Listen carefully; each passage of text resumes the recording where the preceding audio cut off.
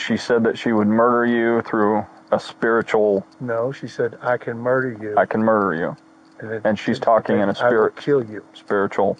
No, she's talking physically. I will kill you because you're not Charles, and nobody will care. Okay. So she she at this point doesn't think you are her husband. She thinks I'm Nick Schneider. Who's Nick I have no idea. It's Okay. the name she used. I don't know where it came from. Okay. I just, I'm just like, I'm as bewildered as you are. This is so foreign to me. Normal people, as far as I'm concerned, but you know, uh, this happens. It just drives me. I don't know what to do. I need help, and she needs help. She needs help.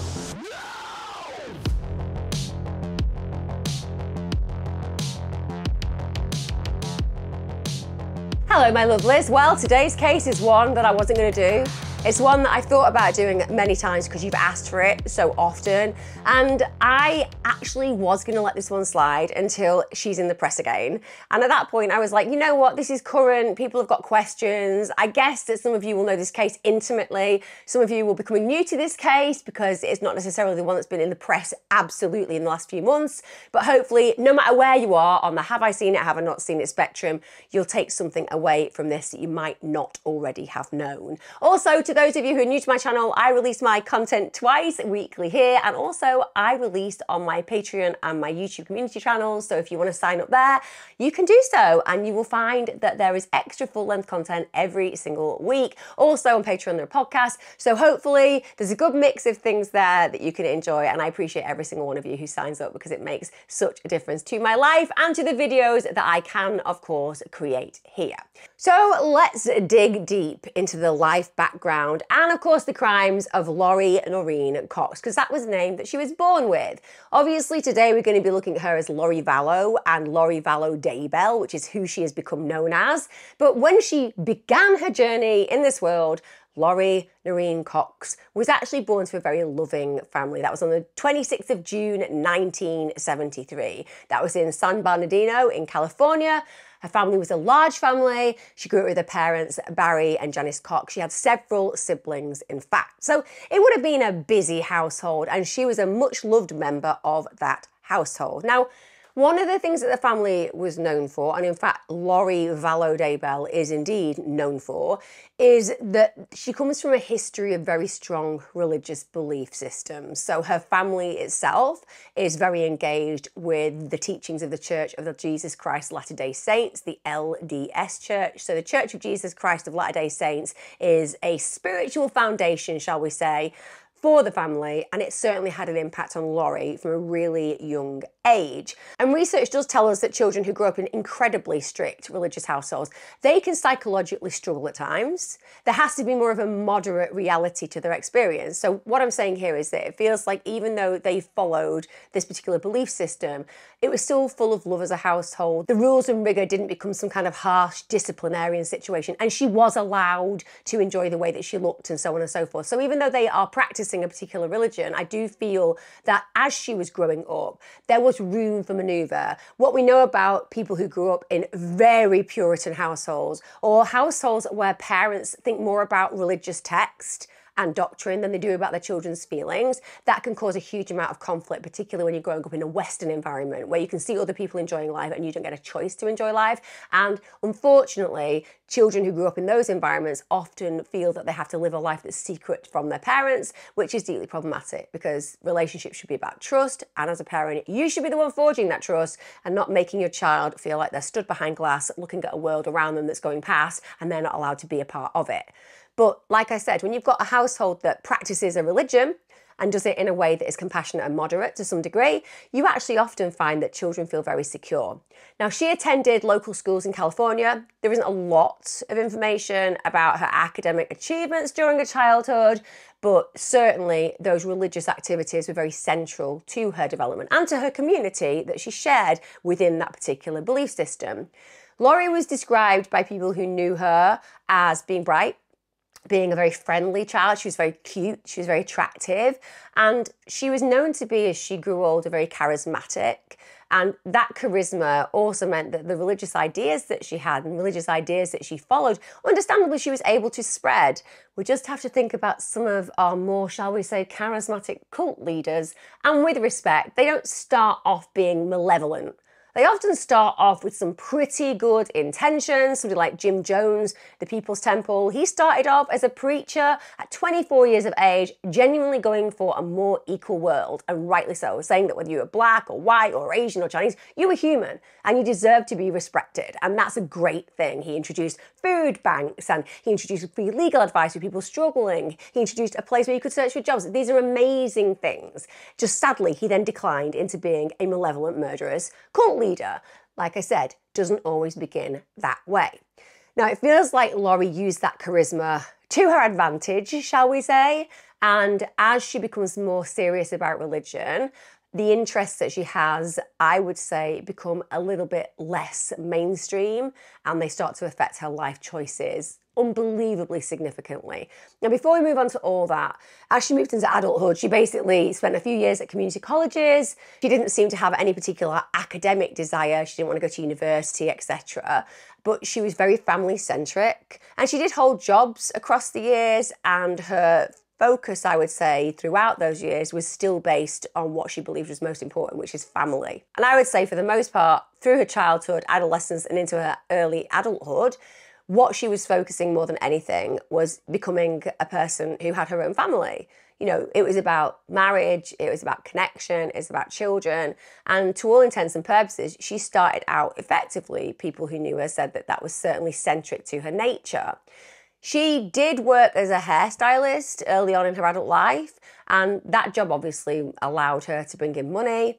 And during her first marriages, that was really important because she was growing her family. But I would say, even though she had this work experience and she was good at what she did, you can clearly see that whenever you see pictures of Lori Vallow when she's younger, she looks good. It is still, like I said, not the central foundation of who she is. Her family is the central foundation of who she is. Now, Lori's interests, I would say, then later shift towards more religious endeavours. She gets involved with groups, she gets involved with individuals who have a very similar spiritual perspective to her, and she especially has this idea evolving within her nature about the end of times. But again, her main focus is being a homemaker, and those deepening religious convictions are incremental as opposed to immediate. So, her main energy is not on career, it's on religious beliefs, but also family. Now, like I've mentioned before we move on, she was brought up in the LDS church. So, just in case some of you don't actually know what the LDS church is, I'm just going to summarize their basic beliefs. And I apologize if you are a member of the LDS and I don't get everything right. Please bear with me. So, the Church of the Latter day Saints, it traces its origins to a religion founded by Joseph Smith in the United States in 1830. And a lot of you will have heard the term Mormon, which is because people who are from LDS, they do actually follow the Book of Mormon. And that was published by Smith in 1830. 30. Now, the use of that term is actually discouraged by the church itself, but it's the one that sticks. And I suppose that some of you will know about the musical Book of Mormon. So, again, it's an association with it that's inescapable. It's an international movement now, and it's basically characterized by a really unique understanding of the Godhead. So, the emphasis essentially on family life. They also believe in revelation and desire order. They have this big respect for authority. A man is the head of the household, for example. They also very much are committed to missionary work. So you might get a knock on your door and there'll be two smartly dressed young men, and they might say to you, I'd like to talk about our mission and talk about what we believe in. And they're always very, very pleasant people in my experience. I'm sure that girls do it too, but nonetheless, my experience has always been of two very smartly dressed young men, usually in a shirt and some nice trousers and a tie, and they're standing there to talk about what they believe in. Now, its members, they really do obey strict prohibitions. They're not allowed to have alcohol, tobacco, coffee, and tea, apparently. They also have a very very big emphasis on work, on working hard, you know, working hard, and that's not just in your job, but with your family. So that is essentially where her belief system stems from, and they're the foundations of that belief system. Like I said, I'm sorry if I get some of that wrong. Now, Lori, she gets married early. This is in 1992. She's 19 years of age. Bear in mind, in the UK, that would be considered a very young age, but in America, Getting married quite young is still quite a typical experience, certainly in Bible Belt areas. And we have to remember that family is central to the LDS. So, therefore, it makes sense that most people around her are indeed getting married at 18 and 19 years of age. So it's not atypical in any way, shape, or form. And she actually married her high school sweetheart, Nelson Yanes. It didn't work out. The pair actually got divorced not long after marrying, and they didn't share any children between them. But that does not deter Lori. And this is why I'm noting that no matter how rigorous and religious her household was, they obviously were very accepting because she's got divorced. And they'd likely be like, you know, that's not the best thing to do where the LDS church is concerned. But not only does she get divorced, in 1995, she marries William Lagioia. Now, she has a son with William. He's called Colby Ryan. And what can I say? It didn't go well. So that's also very short lived. They get divorced in a year. So to be involved in two marriages, yes, she's relatively young still, so I appreciate that we make really bad decisions often when we are young. We all appreciate when we're 19, we're not who we're going to be at 39. But still, to rush in and to get divorced, and then to rush in and get divorced again to some degree, that demonstrates an impulsivity. And I think that we have to remember when we look at somebody's psychological past and also their actions within that past, we have to look at notable events. And two marriages in a very short period of time that last for a very short period of time, it suggests there is something fractured in what's going on, whether in that individual or in the relationships they engage in. Still, let's just say Lori doesn't get the memo on maybe thinking about whether marriage is for her. In fact, she doesn't get that memo pretty much full stop. And she has a third marriage. This is to a guy called Joseph Ryan in 2001. Now, at this point, he legally adopts Lori's son, Colby. They do actually have a daughter together, and the daughter is Tylee Ryan. That's in 2002. And I would say that what I understand of that relationship is it was very toxic, and I would say there was a level of abuse within it. Now, Lori and Joseph end up getting divorced in 2004. So, again, we are talking about incredibly short periods of time where Lori is concerned in relationships. And of course, we never victim blame. We appreciate that if you're an individual who is in a toxic situation where there is abuse involved, you need to get out. But it's just more about what kind of presence of mind does this woman have to just go on this merry-go-round, essentially, of meeting, marrying, divorcing. It's not typical for somebody so young. Now, following that divorce, there was a custody battle, and basically that would have been very acrimonious. That would have been a big struggle because she wanted the kids and he wanted the kids. And during that time, Lori's brother Alex, who I would say is a key component of this entire story, who is unbelievably protective towards Lori. I would actually say there is a weirdness about their connection. Not an incestuous relationship. I'm not pushing that idea.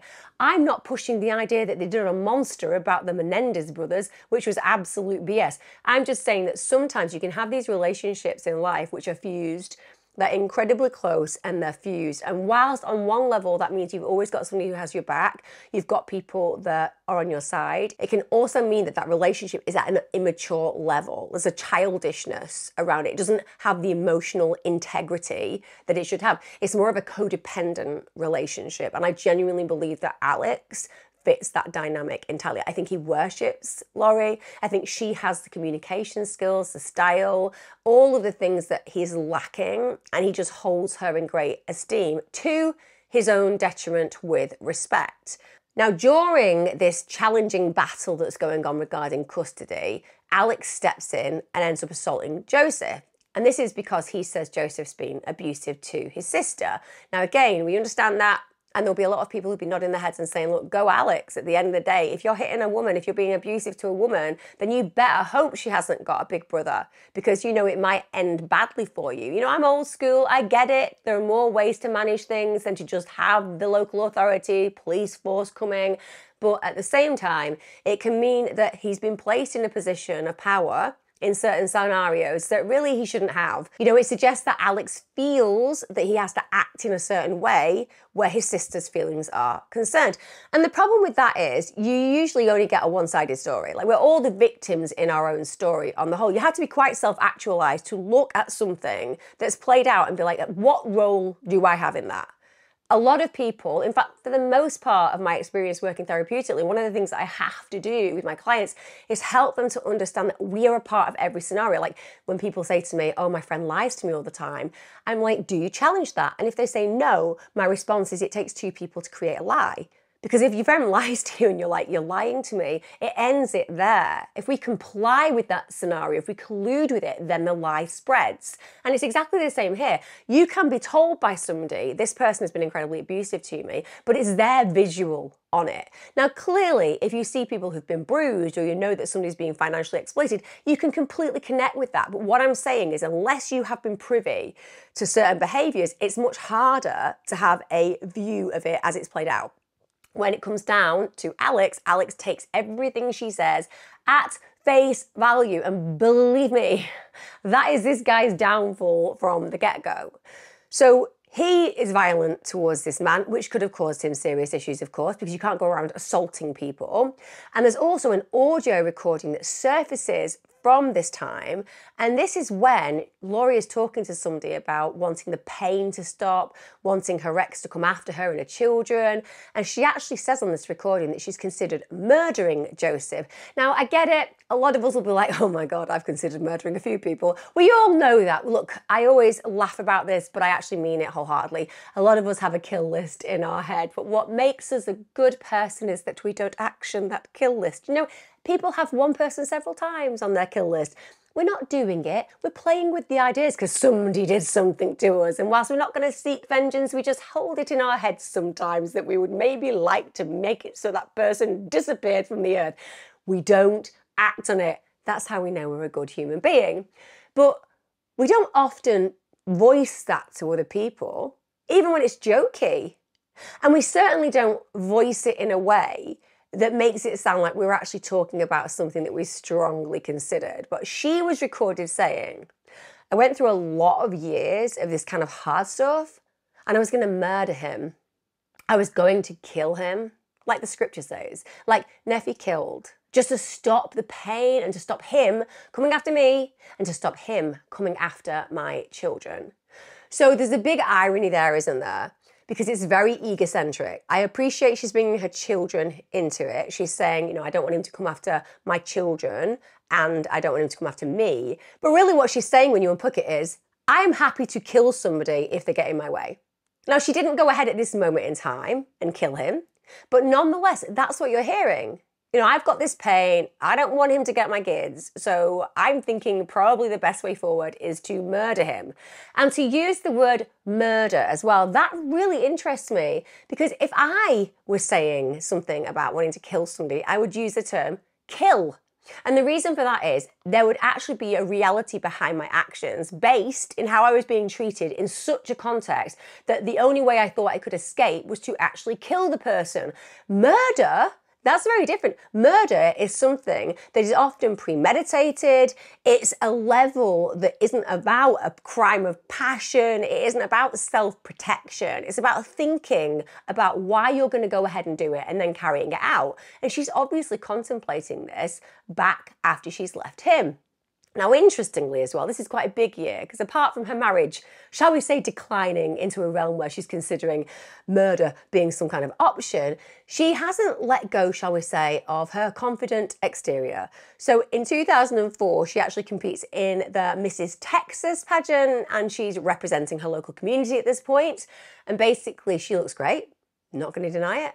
And it also shows how invested she was in beauty and in her personal presentation that had been a part of her life for quite a long time. Like I said, she was qualified in hair and she liked being considered attractive. That goes without saying. And I just want to throw in vanity isn't actually an acceptable thing as a religious person. Just going to throw it in there, Lori. Vanity is not considered an acceptable way of being. You know, at the end of the day, you shouldn't be wanting to do that if you're a truly religious human being according to your own scripture. But I digress. And the same year, she actually ends up on the episode of the television game show Wheel of Fortune. And in that show, you know, she comes across as fun and flirty and smiley and peaches and cream is what I would say. And you know, that's going out to a national audience. So that does speak a little bit of her ego. I genuinely believe that because what we're going to talk about throughout this is a level of delusion, but also how egocentricity can play into those delusions. And we can look at things on a mental health level, and we can also look at things on an arrogance level. It is possible to hold both of those in the same space and come to the conclusion about a human being who, shall we say, could have some issues on a mental health level, but who is undeniably fractured in some very malevolent ways. Now, those brief stints in the public eye they, I guess, give us some insight into her liking the spotlight. And I suppose we can say that that wanting to be centre stage, adding to that religious conviction, adding to that the ability to be charismatic, you know, that lays the ground to bring others into the fold if she decides, you know what, I might want to become a leader. Because literally her personality traits absolutely can be applied to people who end up leading cults. Now, Lori's fourth husband, because she isn't finished yet, she isn't finished yet, he's a guy called Charles Vallow. The pair get married in 2006. They get married in Las Vegas, and I think Las Vegas must be an awesome place to get married. It also throws me into that questioning again of ah, was this impulsive? Was this a scenario where they get married and it's a whim? Because Las Vegas is often associated with things like that, although I've got friends who've got married there and they've been married for decades. I'm just throwing it out there that it kind of fits in with her mindset and profile. Now, Charles Vallow, nice guy. Just going to get that out from the get go because there's been a lot of reports about Charles Vallow and she's had her say about Charles Vallow and it's just BS. This guy's born on August the 17th, 1956. He was raised in Lake Charles, Louisiana. He's somebody who apparently was a really ethically strong individual, and that's both personally and also to do with work. You know, he was good at what he did. He was very warm as a human being. Apparently, went on to work in quite a lot of different business management and financial roles, and eventually he was very successful as an executive in the financial services industry. So he's a smart cookie. People who knew him said he was just somebody who had this generosity of spirit. And I will tell you now, having watched body cam footage of this man before his very sad demise, there is absolutely something about him that makes you go, this guy's understanding. There is something about his nature where you can hear that even in the worst of times, he's finding things difficult to comprehend and he's having horrible things done to him by Lori but for whatever reason, he can't compute that it's possible that the woman that he fell in love with could ever be the human being that she's turning into without some really serious issue having occurred, such as a mental breakdown. There is something about Charles Vallow that even in moments where you just want him to protect himself, you can see he's trying to fundamentally figure out why is this happening? This makes no sense. And he had apparently a huge love for his family. He had a real dedication to the people that he cared about. As I said, they got married in 2006, but they'd actually met in the early 2000s and they connected through friends. They apparently got close very quickly. That does not surprise us when looking at her past relationship history. He had been married before, so they both brought children into their new relationship. He had a, two children from a previous marriage, and he actually shared custody of those children, both boys, with his ex-wife. So this should be a point of celebration. They found each other, they're moving forward with their lives. They've got a blended family because obviously Lori has children as well, and Charles literally embraced Lori's children as his own. You couldn't have wanted more for a stepfather. And together, they went even farther. So they adopted Lori's grandnephew, JJ. And apparently, Charles was just devoted to JJ, cared for him as his son. And JJ did have some issues as well. He was diagnosed as being autistic, but this did not sway in any way, shape, or form the way that his adoptive parent felt for him. He was loved and cherished beyond measure. Also, one of the things about Charles Vallow was he was actually Catholic. But instead of carrying on down that road and being like, this is my religion, you have yours, Lori, you have your LDS religion, I'm going to stick with the old Catholic church, that's the one I'm going with, He actually went so far as to convert to the Church of Jesus Christ of the Latter day Saints after meeting Lori. So he's obviously compelled by her in so many different ways to the point where he decides he is going to convert. And he was apparently a very spiritual person. He wasn't extreme in his beliefs like Lori was, but people said if you had to describe him, he was an anchor to the people around him. So the couple are now raising Tylee Ryan, her daughter, and JJ, their adopted child, together, and it's going well. It's also worth noting that at this point, people who knew Lori said that she was literally an ideal mother. She had great patience, she was deeply compassionate. Her and her daughter got on incredibly well, and everybody who knew her described her as a loving mother. In fact, when it starts to play out that some really evil things have happened in this case regarding Lori's children disappearing, her mother and sister go on national TV and do a full documentary saying how everybody's wrong about Lori. That literally she's the nicest, kindest human being in the world, hasn't got a bad bone in her body, and 100% believe everything is going to be okay. It doesn't matter how weird things are. It doesn't matter how twisted things turn out. What matters, as far as they are concerned in that moment, is to stand by somebody they know and love because they genuinely think they know and love her honestly, I have no doubt whatsoever in the moments that they are sat dealing with documentary makers, asking them questions, and they're asking some very prying questions. They are sitting there 100% fully believing what they are saying. They absolutely think that Lori is the most peaches and cream, adorable human being who would never so much as harm a hair on the head of their children. It's as simple as that doesn't, shall we say, end well for them. And on reflection, I imagine they think to themselves, maybe a bit of hindsight makes me consider not acting on impulse and going ahead and saying yes to documentaries before I've got all of the details. But you know, like I said, they've got years to reflect on that decision. Now, Tylee, she's a child who's apparently absolutely wonderful. She's an amazing big sister to JJ. She actually used to refer to JJ as her own child because he and she were incredibly close and things are going okay. They really are. I would say for a start, we have a period of time where a marriage works out. Charles Vallow is providing for Lori and for their children, and it is going well. They have a nice life. She's afforded a good living situation. So you think that it's over a decade before we can see things starting to turn for the worse, shall we say. And apparently, people who knew Lori 2017, 2018, and knew her before that said that she started to change. So, like I said, before 2017, 2018, we've got Lori being held up as his doting mother. She's devoted to the church. She's always looking stunning, essentially. But suddenly things change. Her demeanour changes, her behaviour changes. And one of the things that they noted was she'd started reading the books by doomsday authors. Honestly, guys, you know, I have a faith, I have a big faith in the big God it keeps me going through the good times, through the bad times. I never ever feel that I'm alone because I have that connection and I own that connection. Everyone's different.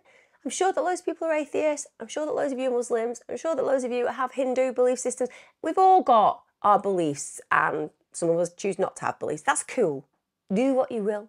It's what makes us so wonderfully diverse. But for the most part, I take great comfort from my faith. I'm not actively walking around going, do you know what I need in my life? No, what do you need in your life? I need a bit of anxiety. What kind of anxiety? I'm talking apocalyptic style anxiety. That sounds that sounds awful. It's it's it's the end of days. It's the David Koresh Branch Davidians kind of thing. It's the worst of the worst. It's fiery. Why? Why why do you want to do that? I don't know. I just feel like I need a bit of darkness, burning, death, destruction, and hopefully some nice stuff at the end if we kind of get through it without being incinerated. Honestly, I don't know why anybody wants to read doomsday books. Just saying, guys, if you've thought about it, gonna go out, get myself a doomsday book, don't. Just let's not do that. Let's not do that. Let this video heed a warning to you about why we should never go down these kind of roads and influences because indeed we could end up meeting somebody like Chad Daybell for a start. Anyway, I digress. So she's into this doomsday stuff, and in particular, she'd read the books of who I've just mentioned Chad Daybell, apparently an author, but he's one of those authors that is quite a prolific writer and he's a self published author, shall we say, but he's popular in these areas. And he'd written several fiction books all about preparing for the end of the world, because obviously he's a happy chappy as well. Now, during her reading these particular books, there is a level of being consumed by them, shall we say. Now, for those of you who genuinely don't know what a doomsday author is, it's somebody who basically writes about the apocalyptic or the end of the world type themes. So they will tend to write things about religious or spiritual beliefs, but also will have predictions of, what can I say, cataclysmic events. Also, some of them will create fictional narratives, so not everybody will be real, and the actual writings won't necessarily be absolute prediction. But some of them do actually present their writing as non-fiction. So basically, they say, oh, this just sounds a little bit out there. Sounds a little bit like I'm writing something that isn't true, but really, it's just a prediction. I'm predicting that this will actually happen, that there is an impending apocalypse, and I know all about it. So their words in these books, they tend to focus on things like themes of judgment, of survival, of preparation for coming end times, or of a divine reckoning. And Chad Daybell's one of those doomsday authors. He apparently had these apocalyptic novels that centered around these end of times. They were loosely based, apparently, on his interpretations of Latter day Saint theology. So let's just be clear about that. Not actually the LDS theology, but Chad's LDS theology. Sorry, Chad, you, are you actually the person who created LDS? Well, I mean, you might not think so, but I may have an insight that maybe I might be or somebody I know might be, but but you're not you're not actually, are you? No, no, I'm not. I'm not. Why are you writing these books kind of interpreting LDS in a way that isn't accurate? Well, because I think I'm a messiah. Because let's be honest, we all know, don't we, that Chad Daybell is the type of human being who's got an ego so massive and a recognition that he is not really that special, that it's such a mismatch that he can't help just desperately trying to convince others that maybe he's special. That's what happens with these kind of egomaniacs. They just want to be seen as special. So he's doing this interpretation of the latter day saint. If you spoke to somebody who was actually a preacher, they'd just go, yeah, no, no, none of that's true. But Chad didn't get that message. So in these books, he's basically writing about how a chosen few survive this series of catastrophic events that lead to, what can I say, a divine purified existence for the righteous. So I've burnt in flames. You've all burnt in flames. There's going to be somebody there going, No, Emma, I haven't. I absolutely haven't. I've just bathed in holy water. I've just gone around my house gods and they've all said I'm one of the chosen few. And my cat is wearing a crown. So you clearly didn't get the memo there. I am saying that for the most part, we all know that according to the people like Chad, we are definitely going to be, you know, pushed off the plank into the fiery waters before any of them are. But this is what he believes that this is divine, purified existence for the righteous, of which, of course, he is. And he self publishes these numerous books because no one will give him a publication deal because everyone's like, that's a bit depressing, Chad. I'm not okay with some of this content here, particularly where I think that you're suggesting that I won't make it to the righteous state. But anyway, this is what his narrative is. It combines visions, it's got natural disasters in it, it's got moral purges, and it's also got spiritual warfare. If that isn't the kind of positive reading that you need on a Thursday and a Friday, I don't know what you're spending your time reading. Forget things that you actually enjoy. Forget serial killer books, which let me tell you are at least a little bit more hopeful when it comes down to it because you survive at the end, as opposed to reading Chad Daybell's. Well, let's be clear, we all die horribly. Aside from him, who probably goes on to, I don't know, be drenched in white, pure light and ascends to heaven just as he is, because he's so absolutely incredibly wonderful. Now, beyond fiction, Chad Daybell, he espoused specific doomsday beliefs, shall we say. He said he had these visions, spiritual insights about the coming apocalypse. So this isn't just his writing, he's having these conversations with people. And he also had this, oh, uncanny ability, guys, uncanny ability. Chad Daybell isn't just a writer, he's not just a prolific writer. He's not just spending his time with a paper and pen, probably a laptop these days, but you know where I'm going. No, no, no. Chad isn't just about the writing. He's not about the getting stories across to an interested audience. No, no, no, no. he's more than that. He is a prophet and he can see visions, give spiritual insights, and also he can identify dark and light spirits in people. And actually, if you were unlucky enough to be a dark spirit, he would label you as a zombie. And as a zombie, it meant that you were possessed and you were basically unable to be saved, which is, again, another reason why he's such a positive guy. Now, according to his teachings, removing these dark or possessed individuals was actually spiritual duty. It was part of a cleansing process he felt was necessary to prepare the chosen few for the apocalypse. So I'm not sure when I want to go on that spectrum. I don't think there's a positive any way you look at it where Chad Daybell is concerned. If you're dark, you're a zombie and you know you need to be outed in some way and disposed of. And if you are a light and you're one of the chosen few, you just have to worry about the apocalypse coming. Can somebody please draw any positive from that kind of mindset. But this is where we are. And also, isn't that intriguing that this guy is so aloof, so superior, so narcissistic that his belief is that he has been bestowed with this talent for seeing beyond human and being able to see who the zombies are. And all I imagine when I say that is I one day hope that Chad Daybell will be put somewhere, let loose, where the World War Z zombies can give him a chase because I genuinely think that if anybody deserves that kind of demise, Daybell is certainly the one who I would be rooting for to achieve it. Now, Chad had a wife named Tammy Daybell. He had five children with Tammy. To all intents and purposes, what I know about Tammy Daybell is what a lovely human being. Now, they all lived outside Rexburg, Idaho, and essentially people thought they were a happy couple. Let's just put it out there straight away. It felt like he was a relatively devoted husband, certainly a much loved father, and there was nothing outside of the ordinary when people were looking into their relationship that stood out as, oh dear, we might be dealing with something really toxic or problematic.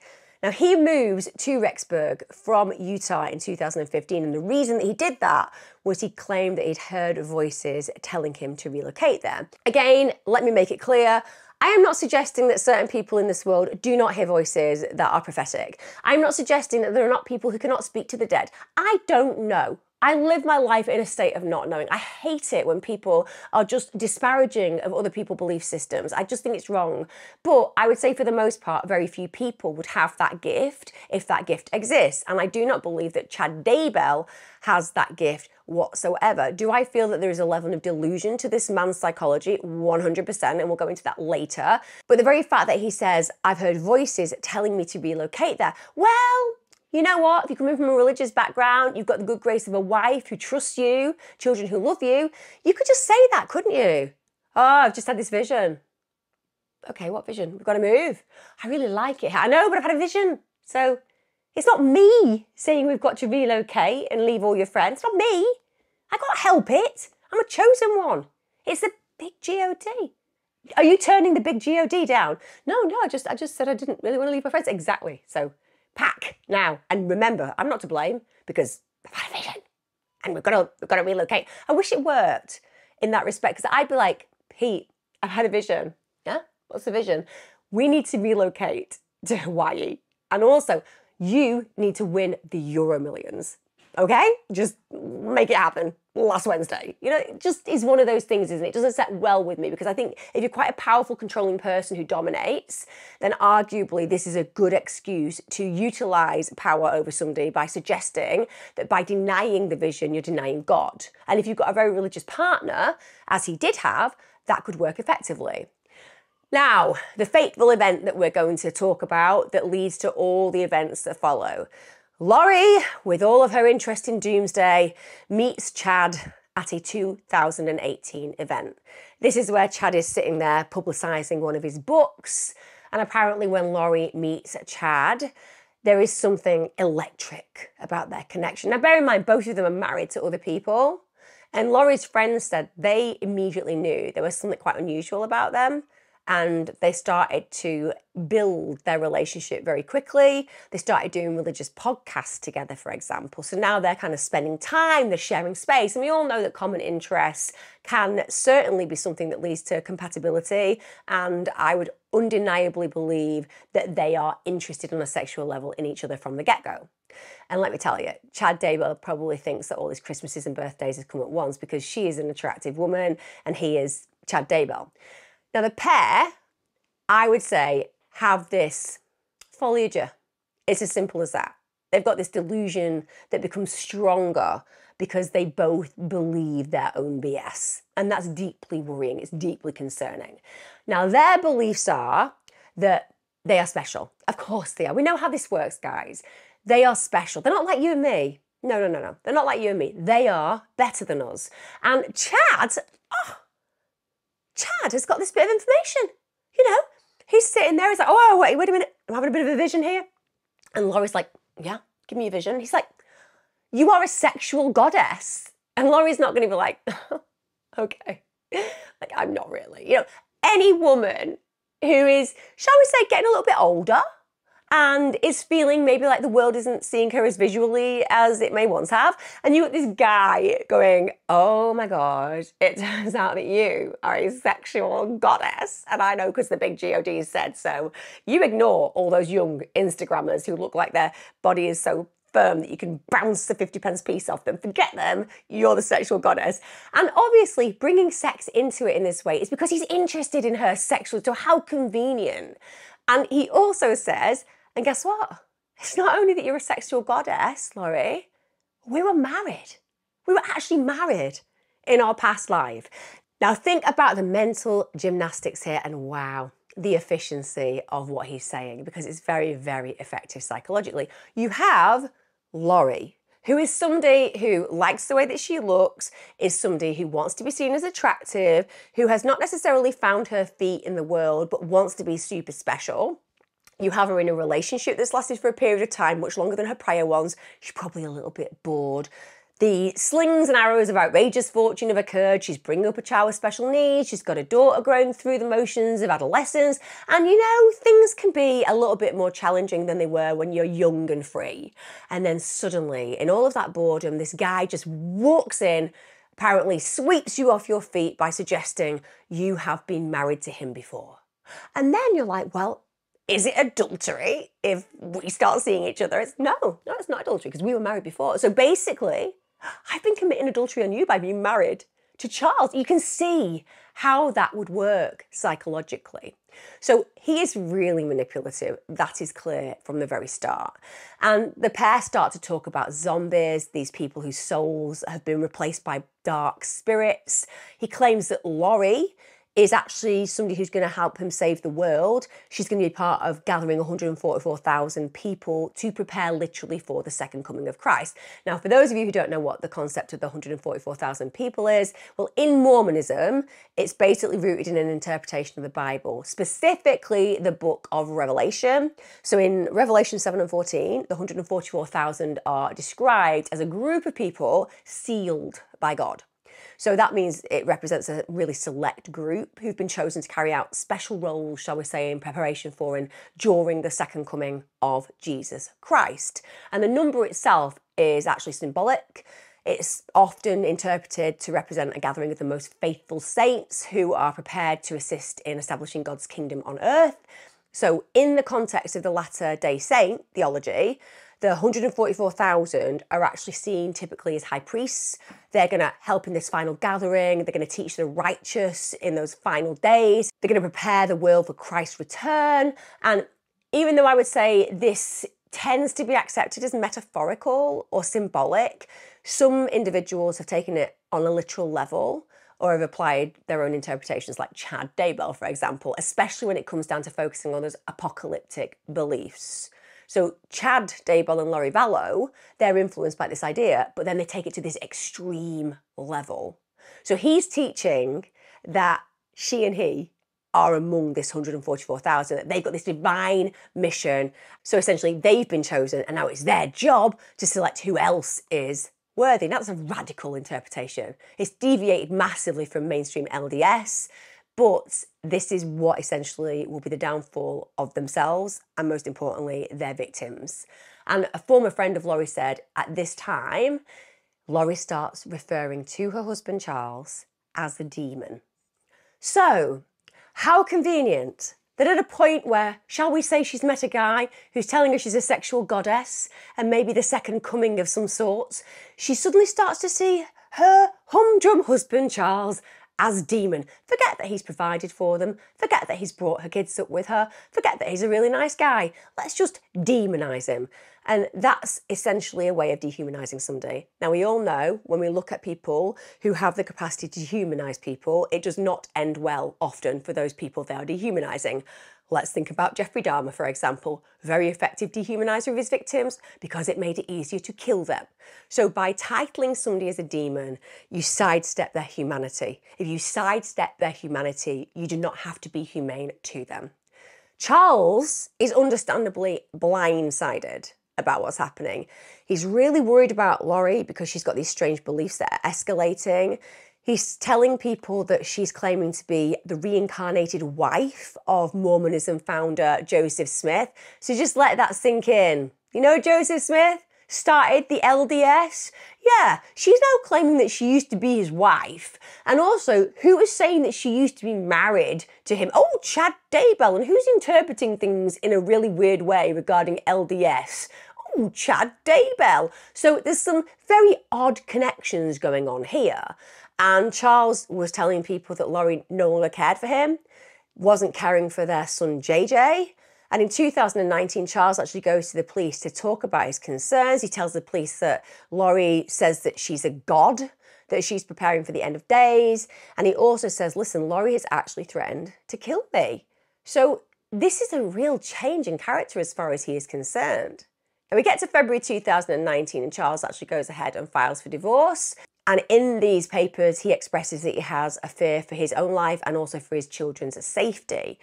Part of the reason for his divorce was because of these extreme religious beliefs and also the threats of violence, because it makes sense. There are irreconcilable differences, and also it's highly inappropriate behaviour to go around threatening you or the children you've brought up.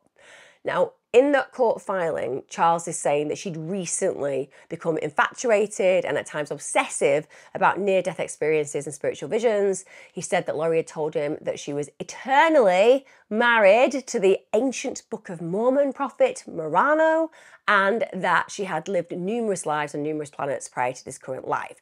So he's going to be looking at her and thinking, I don't know what crack you're smoking, but it is stuff you need to stand to the side of because this is not good for you. And this, I suppose, is where we can argue that there could be a mental health level because when somebody is so absolutely convinced of something entirely delusional, we have to consider that there might be a fracture within their mental health. They may be dealing with a mental illness such as schizophrenia, schizoaffective disorder, bipolar. There could be a whole heap of reasons why psychosis could be playing a part in their life. But she's functioning in lots of other ways. And again, that's why I bring it back to this idea of egocentricity and pumping that egocentricity. This personality disorder that makes us so narcissistic, so driven to be visible to everybody else, to be special, to be seen as special, that she cannot help but hook on to what we would consider are ludicrous ideas. And when you have a permission base, because somebody around you who people respect, in this case, Chad Daybell, you have them pumping your ego in this way and convincing you that all of those crazy thoughts that you have, and let's be honest, we've all done it. You know, we've all done it. It's like when you watch people who go to past life regression and they're all Cleopatra. And for that person, it's like, oh my God, I knew. I knew I had these feelings of being all powerful. And now I realize it's because I was Cleopatra. You know, how many Cleopatras were that one? So ultimately, all of those people in past life regression could not be Cleopatra. You know, if I did a past life regression successfully, I've done a family tree way back to the 1500s. So let me tell you, I would be very, very poor, possibly working on a farm if I was lucky, or dead because I'd have died in childbirth. So that would be my past life regression. I wouldn't really want to do it. It wouldn't add a value to my life, right? So, what I'm trying to get across there is when you have somebody who's giving you a permission base to pump that delusion because they are saying, Yes, you are right. All those thoughts that you had about being super special. Yeah, you might not feel it in this life. Yeah, your life might not have amounted to anything enormous in this life, but it's because you are this special person. All those other lives that's when you were so enormously successful. You were such a leader. You were so paramount and important. And those feelings within you, we need to cater to them. We need to amplify them so you can step into your true self in this universe, in this paradigm. So that's the way these things are going on a psychological level. Now, Charles is rightly concerned and goes and gets a protection order from Lori because he has this fear for his life. At this point, Lori and Charles are living separately. She lived with her children and her brother Alex Cox in Chandler, Arizona, and essentially he's not staying there, shall we say. Now, during this period of time as well, Lori actually had to go to a hospital to be assessed. She was only there like less than 24 hours and she was released with everyone going, oh, she's absolutely fine. So again, she's very able to contain these alleged delusions and maintain some kind of form of sanity in front of doctors and psychiatrists. And again, that speaks to a very manipulative tendency within her nature. Now, Charles should be living his life freely, happily, probably with somebody else that he'd married in a relationship that he deserved because he's a good man. But that's not going to happen. And the reason for that is in July 2019, Charles Vallow was killed. Step in Lori's brother, Alex. So essentially, Alex, who we already know, has previously assaulted one of Lori's exes, shoots Charles in what Alex claims is self defense. Charles had basically gone to retrieve JJ from Lori's home. This was because he wanted to drop him off at school. So that's what should have happened. But of course not, because when he gets in there, Alex Cox is waiting for him and he gets shot. It's a really challenging thing to watch play out on body cam, both where Alex Cox is concerned and where Lori Daybell is concerned, because I cannot get my head around how calm and okay they were when a man is lying dead in their home. It makes absolutely no sense to me whatsoever. And if I was a police officer dealing with that situation, I would be deeply concerned. It just did not ring true. In the interview that you'll see with Lori, actually talking about what had happened, she just has no connection empathically with what has occurred. Her husband, albeit ex to be, is dead and there is just no remorse for him, no sadness for him. She's giggly. Who else is in the house? Okay, just have a seat right there. Let's get FD in here. Have a seat. Yeah. 18th Street Secure. We got the gentleman out. Uh, have. You have some ID on you, sir? Yeah.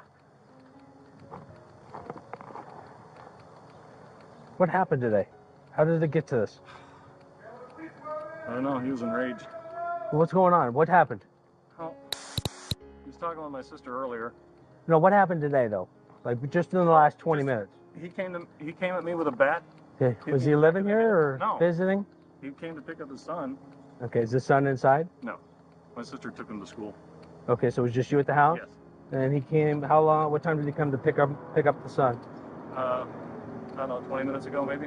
Okay, so you know who he is, let him Yeah, in? yeah, yeah. Okay. No, I think they were talking earlier. Then she left, and then he got into it with me. Like what? What do you mean? I, I don't know. He was he was accusing me of telling my sister because I'd broken up the tussle with them earlier. And he told me not to interfere anymore with them or I'd pay. And he came at me with a bat. Okay, so he showed up in the house with a bat in his hand? No, Okay, so there was a scuffle earlier with my sister and my niece. My niece got involved. about earlier meaning earlier this week, earlier no, no, no, this morning, just this morning before they left. before your your wife left, My sister. before your sister left. Yeah. Okay, who lives here with you?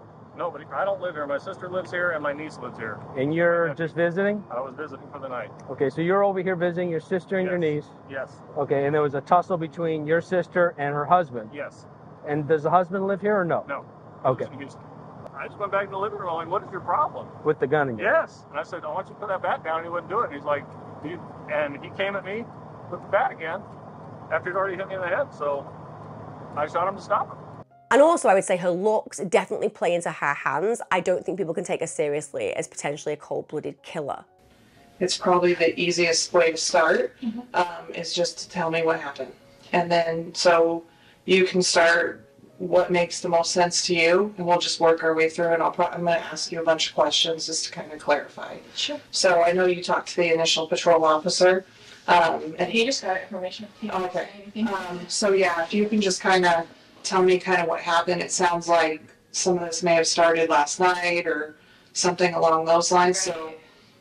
start where you think it makes the most sense. Okay, so, um,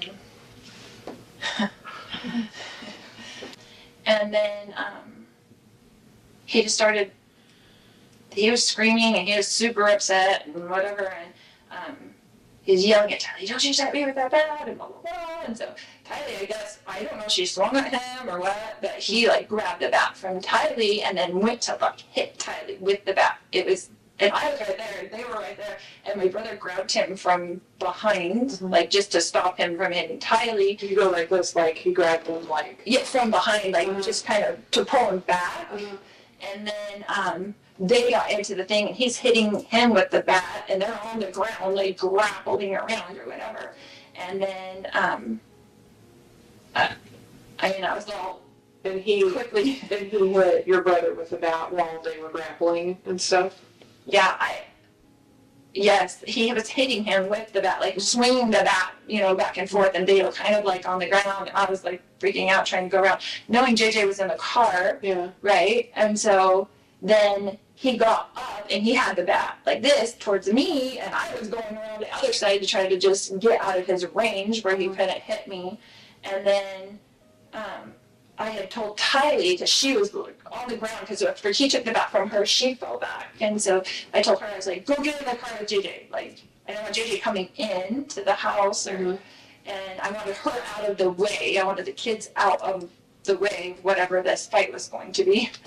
And then, um, Do you remember what you, your husband or your brother were saying or yelling during all of this? If they were at all? just kind of get off me out or whatever, you know, whatever. They were like, like, don't touch my knees, whatever.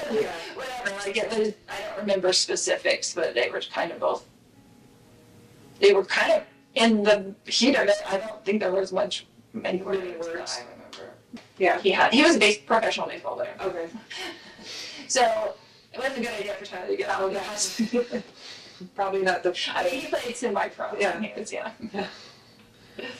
Now, Alex tells the police that the reason that he'd shot Charles was he was trying to protect himself, he was trying to protect Lori and also protect her daughter, Tylee. He said that Lori and Charles had got into a fight and he'd then shot Charles in self defense. Bear in mind as well, I think that Charles would have a right to feeling a bit pissed with Lori. She's done some really awful things. She's removed his property, she's taken his car away. There are a whole heap of reasons why he's not going to be happy. But then he's turned up to take his son to school and essentially he's dead. Lori and Tylee, they tell similar stories to the police. They say they both heard the shooting, and bizarrely, at this point, there's no charges brought against anyone for Charles Vallow's death. And get this after Charles is shot, after he is laid dead on the floor in the house, Lori takes JJ to school. Like, in what world are you like, oh gosh, a shooting's just occurred in my home? A man is laid dead in my home. That man actually is my ex husband. I, however, am on a time frame limit here because I need to get my child to school. So I'm going to just walk away from the scene of a crime and I'll deal with it later on. Said nobody who has actually been traumatized by this kind of reality said ever. But again, Lori didn't get the memo. I guess she was just exhausted being such a sex goddess, having multiple marriages to all these people in different universes. It must be exhausting. I find one marriage exhausting enough, to be honest. Now, after Charles has died, Lori actually sends a text, I kid you not, to Charles's sons. A text. And this text is basically informing them of their dad's death. She sent them a message, and then when they're calling desperately because their father's been killed, she doesn't even pick up the phone. I'll just tell you the text that she wrote Hi, boys. I have some very sad news today. Your dad passed away yesterday morning. I'm working on making arrangements and I'll keep you informed of what's going on. I'm still not sure how to handle things. Just want you to know that I love you, and so did your dad. Could you be any colder than that? No, is the answer. Also, when she finally does have contact with these boys who are absolutely blindsided and devastated because it's the father, she basically was really vague about the answers. Charles's ex-wife had to literally turn to Google to get the answers that she needed. And it's at this point she realizes that Charles was shot by Alex Cox, Lori's brother. Now, following the death of Charles, Lori then moves the family, oh, surprisingly, to Rexburg, Idaho. Now, where have we heard Rexburg, Idaho? Oh, yeah, it's where Chad Daybell lives, isn't it? And again, throwing in the codependent relationship where Alex is concerned, he moves in to the same apartment complex. And then the unthinkable happens. Lori's two children, Tylee and JJ, go missing. Tylee's 16 at this point. JJ, beautiful JJ, was seven.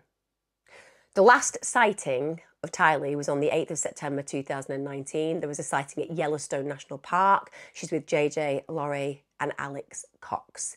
In fact, the last known picture of Tylee before she disappeared is indeed taken there. On 9th of September 2019, investigators discover that Alex's cell phone GPS actually places him in Chad Daybell's backyard for about two hours. Now, soon after Alex left that property, Chad messages his wife saying, I spotted a big raccoon along the fence. I hurried and got my gun, and he was still walking along. I got close enough that one shot did the trick. He's now in our pet cemetery. A little bit ominous, to be honest, texting your wife about that. And is he actually talking about a pet or otherwise? I don't know. Now, JJ was actually last seen a few weeks after that text. He was last seen on the 22nd of September 2019. This is the last known picture of JJ. Friends of Lori, somebody called Melanie Gibb and her boyfriend, they'd actually been staying with Lori for the weekend, and her boyfriend said that he saw Alex carry JJ into Lori's apartment. Now, the next morning, when they asked if they could see JJ, Lori says that JJ was being a zombie and Alex had to take him away. Now, that in itself is horrifying because we know what Chad Daybell says about zombies and what needs to happen to them. Now we get to the 23rd of September. At this point, investigators say that Alex's cell phone GPS shows he's in Chad's backyard. Again, this time he's in that yard for 17 minutes. So what's going on? What's going on that he is in Chad Daybell's yard? Particularly in light of the fact that both of these children have now gone missing, apparently vanished into thin air. Now, in October 2019, another unbelievable event occurs. Chad Daybell's wife, Tammy, dies. Now, at the time, they said it was natural causes. Chad and Tammy's son said that Tammy died in her bed. He'd called Chad about it. Apparently, Chad was devastated. Of course, he was. Of course, Chad was devastated because he's such a good man. Now, at the time, the family declined an autopsy. The coroner said, listen, this death appears to be natural, and Tammy had actually been ill prior to her death. And understandably, it's devastating for a family to have to go through an autopsy. So they agreed that that wouldn't occur. Now, approximately, just put this into context, guys, you've just lost your wife. She's birthed five children. You've had a happy family as far as she's concerned. Suddenly, she's died harrowing, horrific. Any of you have lost a partner out there in such sudden circumstances, blindsiding and breathtakingly cruel on an emotional level. For most people. But not for Chad. Chad was like, well, I could go down that whole grief route, or I could concentrate on hope and I could get back with my ex, shall I say. Well, I say ex, was she an ex? Because I was actually married to her in previous lifetimes, so She's not really an ex, she's always been my wife. So he literally, two weeks after Tammy's death, marries Lori. Can somebody please, please explain how this would ever be considered acceptable by anybody? If this is not a big red flag just playing out in real time, I don't know what is. In fact, there should just be in every wedding photograph because they got married on a beach in Hawaii, yeah, in 2019 on November the 5th. There should be big red flags inserted over every picture of them, just above their heads, because this is a walking red flag. Understandably, family members are concerned. And they're questioning how on earth has this happened because two weeks is nothing. And how disrespectful to Tammy's memory, and how arrogant and how egotistical for them to go ahead and do this when other people are grieving. But like I said, Lori and Chad believe they're special. So rules don't apply to them. And Tammy's sister rightly said, you don't get married weeks after you just buried your wife of almost 30 years. You just don't do that. Amen. Amen to that. Now, of course, we have a problem because these two were on a beach getting married. No sign of the kids. And even though JJ was living with Lori, there were other interested parties in his life. So later in that same November, the grandmother in this case, Kay Woodcock, says, I would like you to go and check on my grandson, JJ. We usually would get FaceTime calls, usually with some kind of contact. We've had none. I haven't heard from JJ in months and I'm really worried about his welfare. So the police do as asked. They go and perform a welfare check in Rexburg, Idaho. They're looking for JJ and Lori just tells the police when they arrive that JJ's safe and that he's staying with a friend, Melanie Gibb, in Arizona. The first thing that the police do, of course, is contact Melanie Gibb. Now, initially, she isn't that forthcoming about where JJ was. But she obviously has time to think and imagine what she's becoming complicit in over a period of time. She's probably spoken to her partner who's going, Why have you not told the police the truth? It's going to bite you on the ass. So essentially, then she gets back in contact with the police and says, Listen, JJ isn't with me. So the police are now very, very concerned because she, the mother, is lying to them and they don't know where JJ is. And then they realise that Tylee Ryan is also missing. So her daughter is also missing. And now they're really worried and it goes national. Some of the investigative journalists on this case were amazing. There are some dyed in the wool great researchers. Most journalists are bought and paid for, aren't they? We all know that. We all know it. But there are some, they just can't help it. They have to figure out what's happening. There's this emotional connection to the individuals that are lost, and they are going to find them in some way, shape, or form. And so it sets on fire. There's this nationwide search for the children, and what is really disconcerting in this situation is that Lori and Chad just seem completely unconcerned about their children's disappearances. They go back to Hawaii whilst the police are searching for the children. They're just off. I'll just go back to Hawaii. It's a lovely place. Yes, it is, Lori. It's a lovely place for people who are in a good mental state and aren't dealing with two children who's disappeared. But she is just telling herself this story that the whole world is wrong and she's right.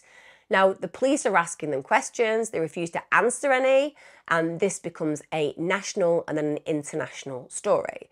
Investigators at this point are going to themselves, this couple look really weird. You know, we've dealt with the very recent death of Tammy Daybell. Now there are two children related to this couple who've disappeared. This feels suspicious and concerning. So at that point, remember, Tammy's death had been ruled natural. But the investigators, because they're really concerned that maybe something more challenging has occurred and maybe something more sinister has occurred. So then investigators go ahead and exhume Tammy's body in order to conduct an autopsy. This happens in December 2019. And bear in mind, another bizarre occurrence in December 2019 is that Lori's brother Alex Cox dies in Arizona. Now, that's determined to be caused by natural causes. Apparently, he had a blood clot. He'd also recently got married, and his wife said he was acting super strangely. There was just something really untoward about his behavior. And her son also felt that there was something really unusual. And they'd kind of been thrown together by Lori and Chad. It had been suggested that they connect and get married. And so they were kind of following as well this belief system that Chad and Lori were super special, which they're not. Well, maybe they are, but only special in a very dark, malevolent way. Now we get to January 2020, and Lori's oldest child at this point, a guy called Colby Ryan, he releases a YouTube video, and this YouTube video is urging his mother to just come clean, help the authorities find Tylee and JJ. And he said this I know you know what the right thing to do is, and I know you have a good heart. He did this in this seven minute clip, and he said, It is time to do the right thing. We get to the 25th of January 2020. At this point, authorities served Lori Vallow Daybell at this point an order requiring her to produce her children. And she doesn't. And Lori fails to do this. So that means she's in contempt. So then she's arrested on the 20th of February 2020. So she's arrested initially in Hawaii, and then two weeks later, she's extradited to Idaho. Now, despite Lori being arrested, Lori and Chad still continue to refuse where the children are. police continue this very frustrating investigation.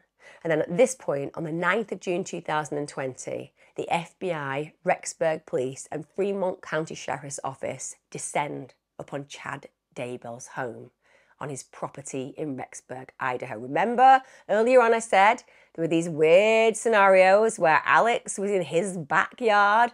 Yeah, that seems to be something that investigators want to explore.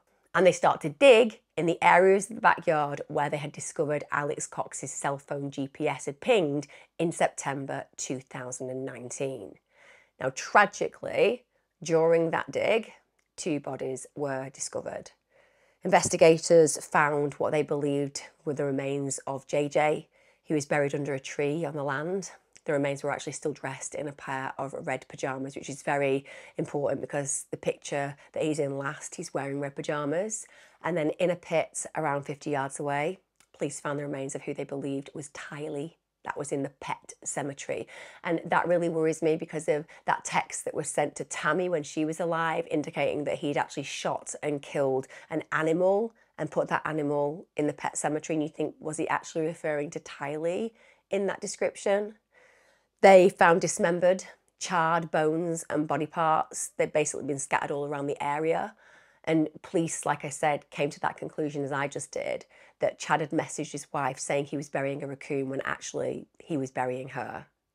Bear in mind, Chad Daybell was in that area. He was watching this dig play out when the police were there. And he decided, I think, at some point, mm, they're in an area I don't want them to dig, and I don't know whether it's going to end well for me, so I'm just going to hot foot off. So he actually gets in his vehicle and tries to leave, but at this point, he's quickly apprehended. Now, initially, he is charged for destruction or concealment of evidence because, understandably, they can't actually at this point say that he's murdered anyone. Now, later in June, the authorities confirmed that the remains were JJ Vallow and Tylee Ryan. Can you imagine this, guys? We're talking about children, two children who end up buried under a tree and in a pet cemetery. Two children who were loved, who were the members of the family adored.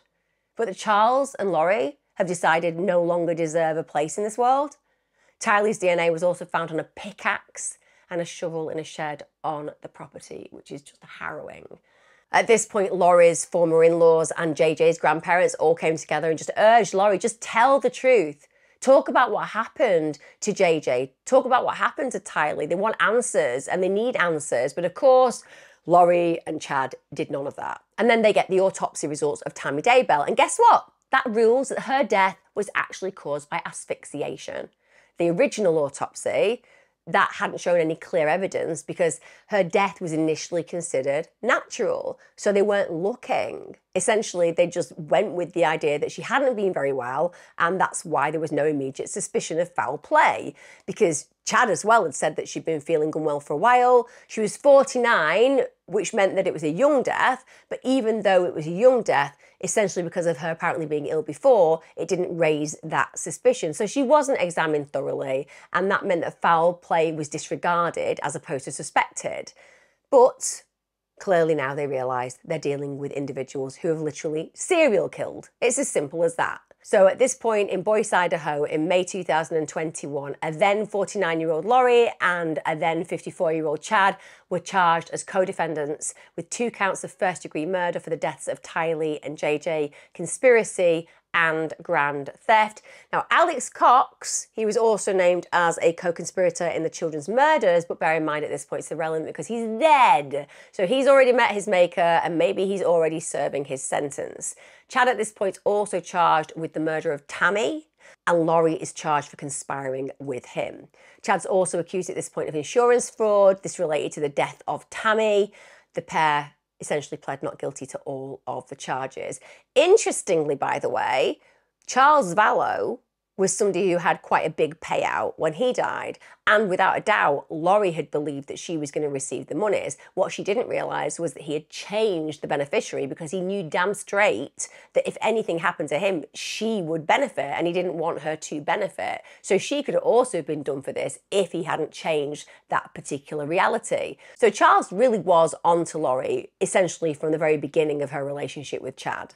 Now, of course, how do Lori and Chad plead in this case? Not guilty to all charges. Now, of course, the reason that Lori will have gone not guilty is because she believes that she's a martyr, doesn't she? And she believes that she's a good mother. She's had to kill her children because she needs to purify her children from the evil spirits that possess them. So she's not a terrible parent.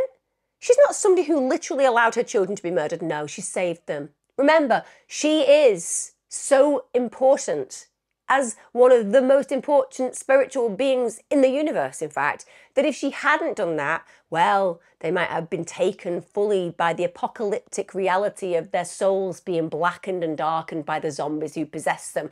You know, there's no redemption for them unless she murders them.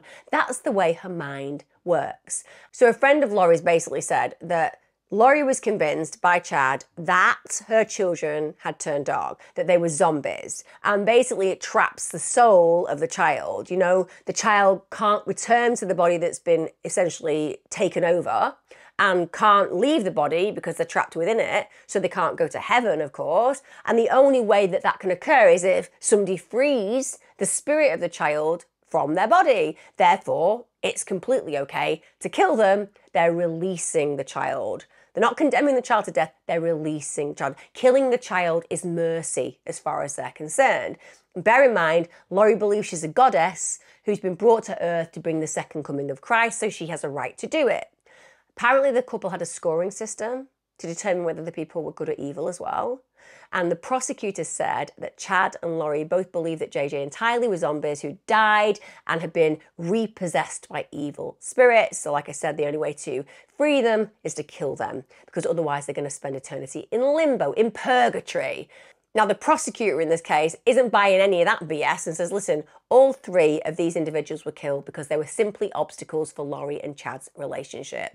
And conveniently, just to add to why I believe that prosecutor is entirely true, none of Charles's five children were apparently zombies.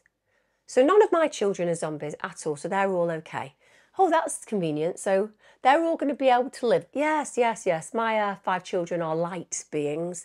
They are all going to be fine. What about my kids? Oh, oh, it's not looking good. It's not looking good for your kids. Why? Why? What, what's wrong with my kids? Well, your kids are unfortunately the absolute opposite. They're zombies with blackened souls, and the only way to get them to heaven is to kill them. Again, how egocentric of Chad Daybell. He is so desperate for power, so hungry to be able to control that he doesn't care about killing children that aren't related to him. No, that's fine. So he goes ahead and incites Lori to be okay with that. And she goes ahead because she is equally as fractured and broken and dark as he is. Now, the couple's trial for the crimes against the children and Tammy were actually delayed for over three years. And the reason for that is because of Lori's mental health. There were a lot of concerns over her mental health. And actually, after Lori was indicted, she had a mental health evaluation that lasted a month. And that meant that her trial was actually put on pause whilst they were assessing what was going on. In 2021, in the August of that year, what we did hear was that the prosecutors would seek the death penalty for Chad Daybell. Now, in September 2021, Chad Daybell's five children actually spoke out. This is when he's awaiting trial, and they said they believe that their father is innocent. I mean, I think they're lovely people because it just shows you that their experience of him makes them feel that he could not possibly have the propensity and violence within him to actually do what we're talking about today. But just as he has certain delusions, I believe so too do they.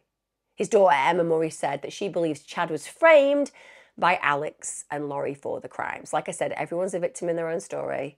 As far as they're concerned, he's a victim in his own story. Come on! He married her two weeks after your mum died. Let's just be real here.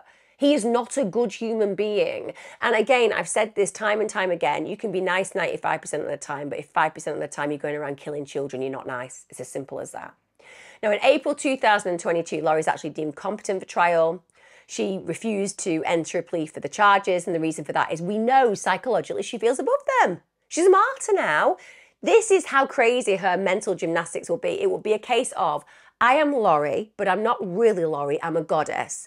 Throughout history, people like me are always crucified. So she is essentially Christ on the cross. She is prepared for this psychologically. I have done these amazing good things. I have killed who need to be freed to go to heaven. I have literally given them redemption. And none of you understand because you're all going to die in the fiery apocalypse. I know that. You don't know that. And at the end of the day, I will just sit in my cell and I will just contemplate how I know so much more than you. And one day you will all realize that I was right. That's her mindset. So, why is she going to enter any plea at that point? So, the judge at this point enters a not guilty plea on her behalf. The trial's then paused again for another mental health check. We then get to August 2022, and Lori's lawyers actually at this point seek a change in charges. The reason for this is they believe that the conspiracy charges are really oddly constructed and that that could confuse a jury. So then we get to September 2022 another announcement is made because you know we all wanted to see this play out on court TV, didn't we? But it didn't, because at this point the judge said that cameras would be banned from the courtroom. He said that he felt there wouldn't be a fair trial if that was the case. We then arrive in January 2023. At this point, the judge rejects a request from Lori's lawyers that Lori and Chad be able to meet in person and on the phone to discuss strategies and settlement options. Basically, the pair's attorneys made lots of requests. They included that the trial be delayed till 2024, and also a request from Chad's lawyers and Lori's lawyers that the death penalty be taken off the table. So there's all these back and forths. Now, eventually, there was notice that the trial would start in March 2023. The judge granted the motion for Lori and Charles to be tried separately at this point. Now, it was Chad's lawyers who'd actually made the request for the judge to sever the trial so they'd be tried separately. Some said that that separation was basically an advantage to the defence and a disadvantage to the prosecutors and taxpayers who had used resources to get the couple tried together because that's what they'd wanted.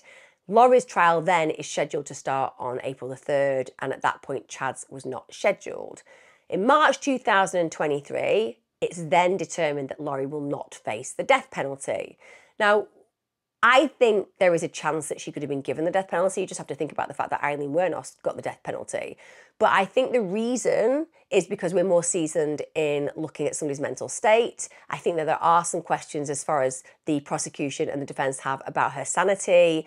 I guess as well, there are complications this introduces because death penalty cases are always far more complex because you're literally talking about life and death. And I suppose there is another reason why they wanted to take the death penalty off the table because it's going to affect an already traumatised family because Lori Vallow is a member of this family. And if she is killed, that could be even more traumatising for them. They've already lost these children. So Lori's lawyers just want that taken off the table completely. The judge agrees to this. And at this point, he also noted that Lori had not waived her right to a speedy trial, so the proceeding couldn't be rescheduled to give her defence team ample time to review the evidence. So essentially, now, because of that, the death penalty is off the table. We get to the 23rd of April 2023, and her actual trial begins. Jury selection took some time. They required 1,800 potential jurors to complete a 20 page questionnaire to trial and to remove anyone who would unfairly try the case. So there were 12 jurors and then six alternative jurors who were selected to hear the case in total. So on the 10th of April, finally, the prosecution and defence make their opening arguments. The prosecution go for the belief that Lori has been motivated by these cult beliefs and she's got this lust for Chad and she's got this financial greed where Charles is concerned and that she and her brother Alex conspired to kill Charles so that she could make money. But Lori's defense attorney says, no, Lori's this really loving and protected mother. She's simply fallen under the sway of Chad's weird apocalyptic religious beliefs. So it's all Chad's fault. It's got nothing to do with Lori. So they argue that Chad and Alex are the ones who are actually responsible for all the deaths. We get to May 2023. At this point, in spite of those arguments, the Idaho jury find Lori guilty of all charges for her role in the deaths of Tylee, JJ, and indeed Chad's first wife, Tammy. So at this point, she is convicted of first degree murder and conspiracy to commit first degree murder in the deaths of Tylee and JJ. She was also convicted of conspiracy to commit first degree murder in the death of Tammy, and she was also accused of stealing social security payments issued for her children. So, grand theft in that particular charge. Now, before her sentencing, Lori's actually given an opportunity to speak in the court, and then when she does, she basically denies that JJ, Tylee, and Tammy have even been murdered. And this is what she says I mourn with all of you who mourn my children and Tammy. Jesus Christ knows the truth of what happened here. Sorry, I'm just going to cut in here. I'm sorry, I'm in the court. I'm in the court. She started saying this. I'm just like, excuse me, excuse me, Lori. Yes, yes, I'm just in a very Messiah like way saying, Hi, I'm completely innocent. Yes, I know. I'm just going to say, you know the bit where you say that Jesus Christ knows what's happened? Yes, yes, the big JC knows. Yes, he knows you're a massive murderer. He knows it. You're a murderer. Anyway, I'll let her carry on. So she says, Jesus Christ knows the truth of what happened here. Jesus Christ knows that no one was murdered in this case. No, those bodies that are found in Chad Daybell's backyard, no, they weren't murdered. They weren't, they were freed, guys. They were released. She says, accidental deaths happen. Yes, they do, Lori. They do. For example, when you fall downstairs and you die, when you choke on a piece of pasty. These things happen, they're awful, but they're rare, aren't they? But apparently, accidental deaths happen, and she's throwing the deaths of her two children into this and Tammy into this. She says suicides happen, fatal side effects from medications happen. Yes, she's right on every single level, none of which refer to the murders of her children. Lori also said that her victims are now happy in heaven. She actually said that she can communicate with dead relatives, she can communicate with Jesus Christ and angels. So she can just communicate with pretty much everyone. Step away, these psychic mediums who are on TV. Forget it, you just need Lori Vallow. She can speak to everyone. She said, Because of these communications, I know for a fact that my children are happy and busy in the spirit world. They're not just happy, guys, they're busy. They've got a veritable timetable that we would be envious of.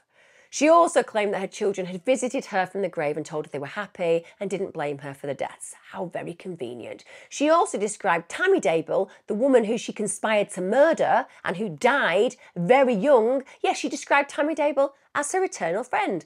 And we all know that's probably because, you know, Tammy's accepted that Lori was, in fact, married to Chad in a different universe, in a different paradigm, in a different body. And so she's okay with the fact that those two were obviously adulterous and murdered many people. So, with all that in mind, when it comes down to her sentencing on the 31st of July 2023, she is given that sentence of life without parole for the charges of murder and conspiracy to commit murder. And that was indeed the maximum penalty that she could receive. She was also given a 10 year sentence for grand theft because she was taking social security payments that she wasn't entitled to do. And Lori was also ordered to pay more than $50,000 for fines and civil penalties for the three victims and restitution. At the sentencing, the judge rightly said to Lori, You had so many other options. You could have gotten divorced. You could have found someone else to take care of those kids. And as the state was able to prove at trial, you chose the most evil and destructive path possible. He said, You justified all of this by going down a bizarre religious rabbit hole. And clearly, you are still down there. Clearly, as I've said, guys, Lori feels like she is a martyr. She's entitled in her mind to have done what she's done. She thinks we're all stupid, we're all going to burn in hell, and she's going to ascend to heaven, probably exactly as she is, but with her hair even more perfect. And then everybody is going to be like, oh, they were all so wrong about you, Lori. That's not going to happen. She's going to be super disappointed when she takes her last breath and the elevator arrives and she's like, I'm not so sure I want to go down that fiery apocalyptic line. Why not? You are massively, massively interested in the books that Chad wrote. Why don't you actually deal with it on a physical level now for eternity? Also, unsurprisingly, two years after Charles Vallow had been shot, his death was also ruled a homicide. Now, understandably, Alex was dead at this point, so he couldn't be charged. But Lori was absolutely implicated in the homicide, and at that point, she was also additionally charged with conspiracy to commit murder. There was suspicion that Chad was involved, but no actual charges have been made against him, but it would make sense that he had been involved. Lori and Alex were also accused of trying to murder Lori's niece's husband, Brandon Boudreaux, in 2019. Brandon was apparently shot in 2019, but it didn't make impact, so he was shot at but managed to survive it. He was driving near his home at the time. He didn't, like I said, get injured, but he could have. So Lori also faces a charge of conspiracy to commit murder in that case. I mean, we're talking about serial killing beyond belief, aren't we? Now, following the sentencing for the murders of her children and Tammy, she was then extradited from Idaho to Arizona to face these extra charges I've just talked about. She's pled guilty on both of those charges. She's actually awaiting her trial. She's apparently asked to represent herself. Please God, if that be the case, let them bring court TV in because I would certainly absolutely watch that case play out. I love somebody who wants to self represent. It always makes me feel that sense of self satisfaction because the narcissism is huge in those people and they genuinely believe with absolutely no experience they can do a better job than seasoned lawyers. Now, Chad Daybell, he's also now been found guilty and he's actually been sentenced to death. The recommendation of the jury was indeed that he was convicted of first degree murder and conspiracy charges in the killings of his first wife and two children with his second wife. He was convicted of first degree murder and conspiracy charges in those deaths, and they went for the death sentence. They absolutely felt he deserved that. In a lengthy verdict read in court, it said that the penalty was appropriate under the law. The judge imposed a 15 year prison sentence on top of that for insurance charges, too. Apparently, he was really stoic when that was read out. He didn't really react at all. But I think we can all agree that says something about, again, the martyrdom complex. These two genuinely believe they are the veritable GC and that somehow we are all wrong and they are all absolutely right. So the prosecution in this said basically said that the reason that he was involved in the killings was because he was fueled by power, sex, money, and apocalyptic spiritual beliefs. And because of all of that, both the jury, the judge, and of course the prosecution without a doubt agreed that the only penalty that was appropriate would indeed be the death penalty. Whether that happens soon, whether that happens in decades, we do not know. We never know, do we? But essentially, he will meet his maker at some point. And I genuinely know that he isn't going to be going anywhere near heaven. And I also believe that Chad Daybell isn't as delusional as Lori.